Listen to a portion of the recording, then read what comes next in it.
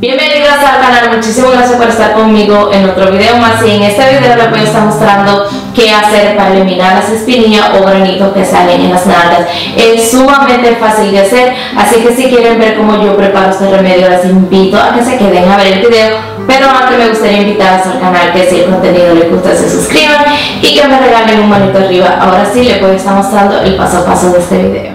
Para este exfoliante estaré necesitando 2 cucharadas de azúcar moreno. También voy a estar necesitando una cucharada de aceite de oliva y la mitad de un limón.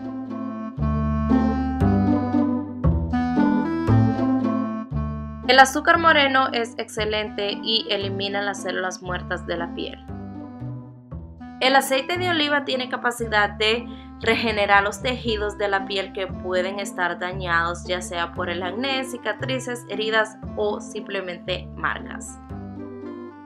El jugo de limón contiene ácido ascórbico, un astringente natural que seca el acné.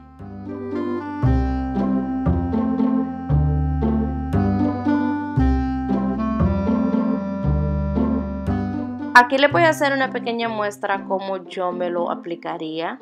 Eh, siempre cojo en pequeñas cantidades y me lo voy aplicando de manera circular como si me estuviera haciendo masajes. Este exfoliante yo siempre lo hago por lo menos dos veces a la semana y tengo que decir que me encantan los resultados.